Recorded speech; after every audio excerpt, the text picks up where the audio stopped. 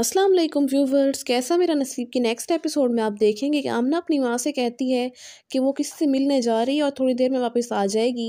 ये कहकर आमना घर से चली जाती है और तुबा जो कि नहीं जानती कि आमना इस वक्त घर में नहीं है और तुबा सारे घर में आमना को तलाश करती है, लेकिन आमना उसे कहीं नहीं मिलती तो तुबा शगुफ्ता के पास आकर उसे पूछती है कि आमना कहाँ है? वो मुझे इस वक्त कहीं नज़र नहीं आ रही।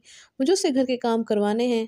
आमना जो कि किससे मिलने के लिए घर से बाहर जाती है, लेकिन तूबा को इस बारे में पता नहीं होता, क्योंकि वो सिर्फ़ अपनी माँ को बताकर जाती है कि वो किससे मिलने जा रही है।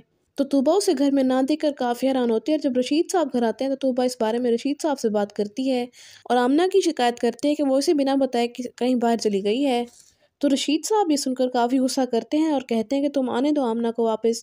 मैं पूछता हूँ इससे कि घर में बिना किसी को बताए ये कैसे बाहर जा सकती है? क्योंकि रशीद साहब ये जानते हैं कि आमना तो पहले सलीम से मिलने घर से बाहर जाती थी। तो अब सलीम तो नहीं है तो फिर आमना किसी और लड़के के साथ कोई चक्कर चला रही होगी। ये सोचते हैं रशीद साहब और तूबा, जो कि नहीं जानती कि आमना किस तरह की लड़की है। तो रशीद साहब आमना के बारे में उसको सब कुछ बता देते हैं तो तूबा ये सब सुनकर काफ़ी हैरान होती है। और जब आमना घर आती है तो तूबा आमना पर बहुत ज़्यादा गुस्सा करती है और आमना तूबा के पूछने पर भी कुछ नहीं बताएगी कि वो बाहर क्यों और किससे मिलने गई थी।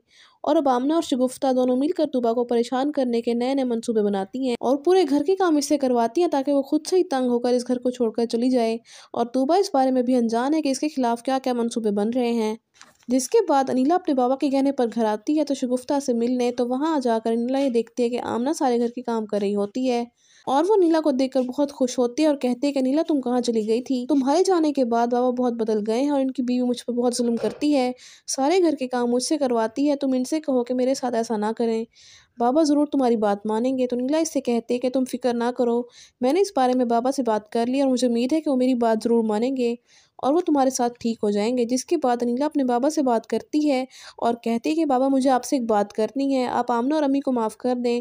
बाबा, इन दोनों ने मुझ पर सारी ज़िंदगी जुल्म किए हैं, लेकिन मैं सब कुछ भूल चुकी हूँ।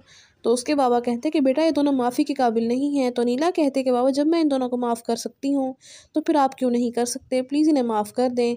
तो उसके बाबा कहते हैं, ठीक है बेटा, मैं तुम्हारी इस बात पर ज़रूर सोचूँगा। तो आप सबको क्या लगता है, इस कहानी में कौन सा नया मोड़ आएगा? कमेंट्स में ज़रूर बताइएगा। इसके साथ साथ ही वीडियो अच्छी लगे तो वीडियो को लाइक और शेयर करने के अलावा चैनल को लाजमी सब्सक्राइब कर लें, ताकि मज़ीद नई वीडियोस बासानी आपको मिल सकें। तो मिलते हैं नई वीडियो के साथ, तब तक के लिए अल्लाह हाफिज़।